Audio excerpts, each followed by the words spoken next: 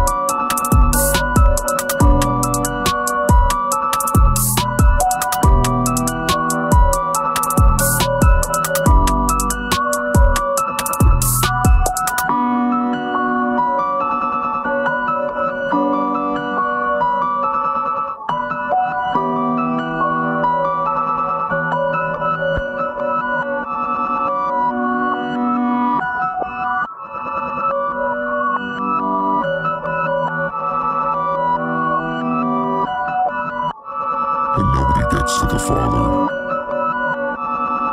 except through him.